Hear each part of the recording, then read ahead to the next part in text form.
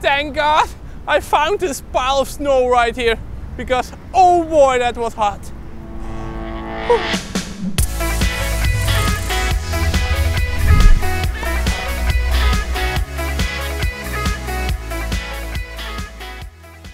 Oh, hey, it's Jordy here for. I mean, it's, it's Kevin here for Cinecom.net, and you're watching Copycat Friday. Now, words on the street is that they want to break into my house tonight, but that ain't gonna happen. I'm setting up some traps right here. Hey, watch out! This house is like one giant booby trap right now. Come, let's sit by the tree, it's safe over here.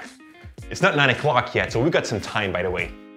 Actually, we've got plenty of time. No, let's give some time to our channel sponsor, Storyblocks. Storyblocks is a vast online library packed with high quality stock clips, video effects, overlays, and a bunch of After Effects templates. What makes it so amazing is that you can download unlimited video assets for only a single price per month or per year. This library is helping us to save time and create stunning projects as there's always something that we can find on it. To try it out yourself, make sure to click the first link in the description below. We're gonna start off by creating that fire effect first. Now, we are actually going to create fire, so if you also plan to do that, make sure that you are under the supervision of an adult and that you take precautions. I can see Janik over there coming in now, right now with a fire extinguisher, so make sure that you have all of that ready.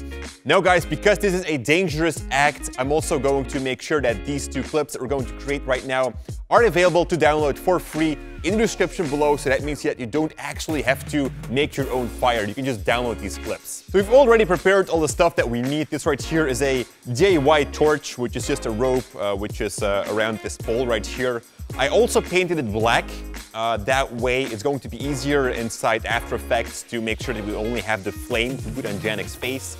And this right here is lighter fluid uh, to put on uh, a fire or something. It's highly flammable, so be careful with that stuff. And we're just going to pour that over this rope, and that way we can set it on fire. Right here, we've got the camera. It sits on a tripod, which is going to be super important, and it's going to film the DIY torch that we have over there. Before we're going to light it, we're going to shut off all the lights, close the dome so that it is completely dark.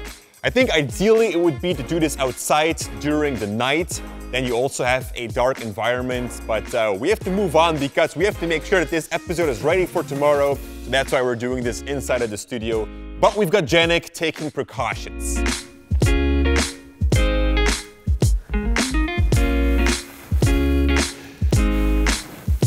We had to record two types of fire. The first one was around that rope, and the second one is where you see the fire blowing into one direction. I'm not gonna show you guys how we recorded that last one as it wasn't quite safe. So again, use the free download link in the description below if you'd like to use these fire effects. We were stupid so that you don't have to.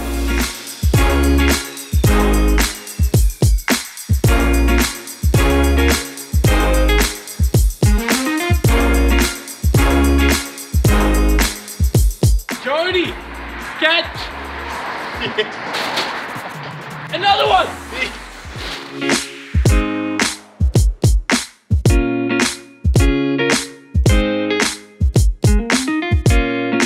Everything you just saw was yesterday because we failed yesterday. We forgot the most important thing from this shoot, tracking marks. Never forget tracking marks if you need to track something. Most important thing ever.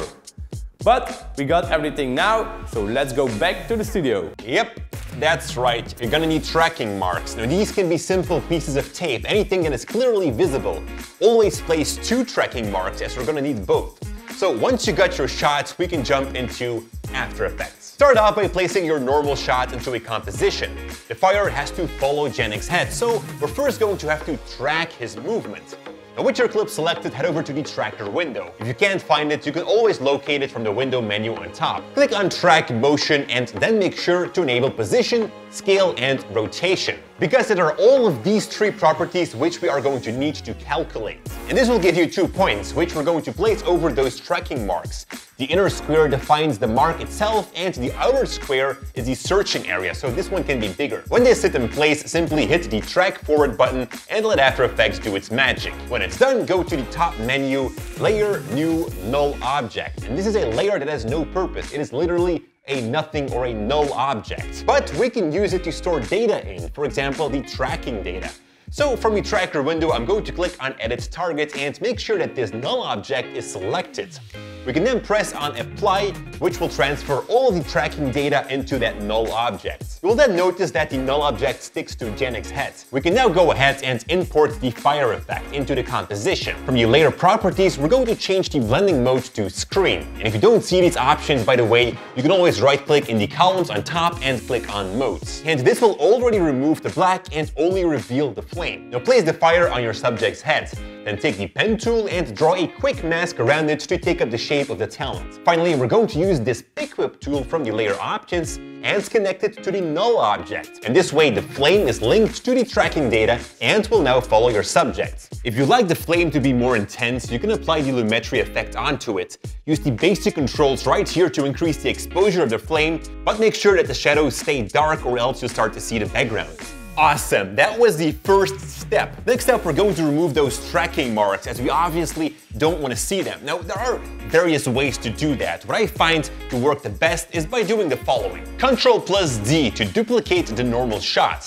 Then right click on that shot, go to time and choose freeze frame. Then take the pen tool and draw a mask above the tracking marks to take a piece out of Janik's head that is clean. Make sure to feather the mask a little bit as well and move the clip's position to cover the tracking marks. Finally, also link it to the null object to make it follow with Janik. And that's basically it. Next up is gonna be the reflection of the flame. For this, we're going to go up the menu, layer, say new, and choose solid. Take something orange and hit OK. Within this orange solid, I'm going to draw a round mask. Then from the mask properties, make sure to feather it a lot. And from the layer options, I'm going to change the blending mode to add. We now want to have this reflection to follow Janik as well, but only for the position and the scale, not for the rotation. So we can't link the entire layer to the null object. We're going to have to do it a little bit different. Start off by expanding the properties for the null object and the reflection solid. From your reflection solid, Alt plus click on the stopwatch of the position property. This allows you to write expressions, but we're going to use something else right here. You'll notice that it also opened up a pick whip tool for that property specific. Link the position from your reflection layer to the position of the null object. Do the same thing for the scale, alt click and link it to the scale of the null. And this will offset the reflection layer, so with the anchor point now, we can push it in place to the wall. Finally, go into the opacity settings and decrease it to match with the environment. When your subject walks away from the wall, you can animate the opacity to make the layer fade out. We're gonna do one final touch to the reflection. Jump into the mask expansion property and alt plus click onto it. And this time we are going to write a little expression in there. Type wiggle, open bracket and then 5, comma 50 and then close the bracket again. Now 5 is the interval number.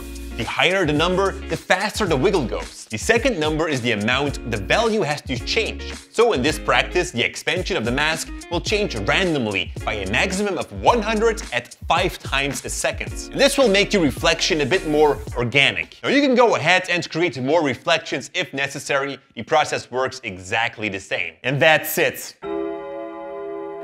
It's 9 o'clock.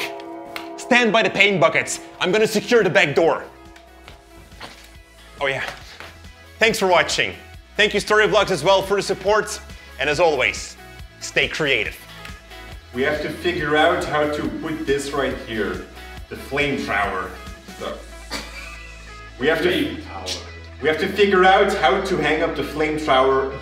Thrower, throw, yeah, okay. We have to figure out how to attach the flamethrower right here, not the flame tower. I kept saying flame tower, but it's flame thrower.